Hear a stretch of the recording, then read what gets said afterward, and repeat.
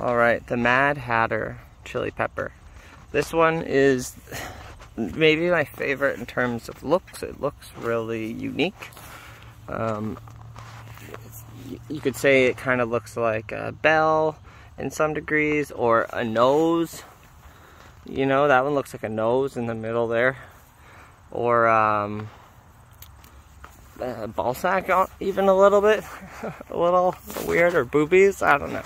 One of those two. But the coolest thing, the coolest, the coolest, I haven't looked into it yet. The coolest thing about this is, looks like, you know, one, two, three, four. Okay, one, two, three, four.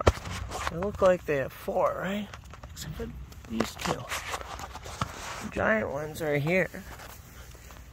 They only have three. One, two, three, one, two, three.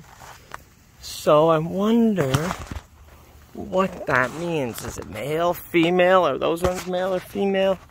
Compared to like these ones, you know?